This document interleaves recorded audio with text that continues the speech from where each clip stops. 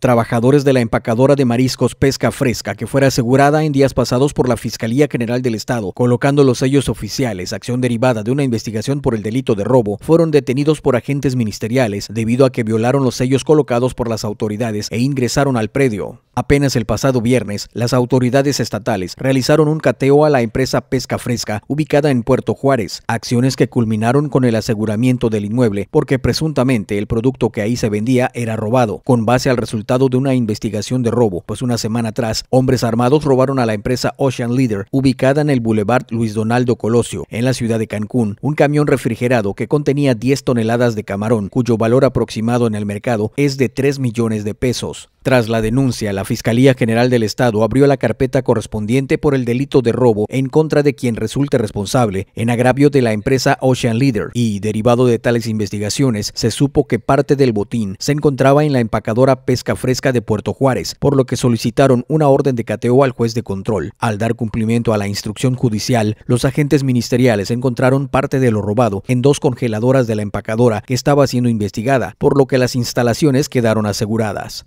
Cabe destacar que la empacadora Pesca Fresca, localizada en la Supermanzana 84 Manzana 7 Lote 1 en la calle 54 de Cancún, tiene como principal actividad el transporte y venta de mariscos a restaurantes, marisquerías y hoteles, por lo que se espera la intervención de autoridades federales como COFEPRIS o la Secretaría de Salud, pues todo parece indicar que no hay un control estricto en cuanto a la procedencia de estos productos. Finalmente, y luego de una denuncia sobre el ingreso de varias personas al predio asegurado, agentes de la Policía Ministerial acreditada lograron detener a 20 personas en total por incurrir en un delito al violar sellos oficiales, todos ellos empleados de la empacadora Pesca Fresca, quienes habrían recibido órdenes del propietario del negocio de presentarse a trabajar de manera normal.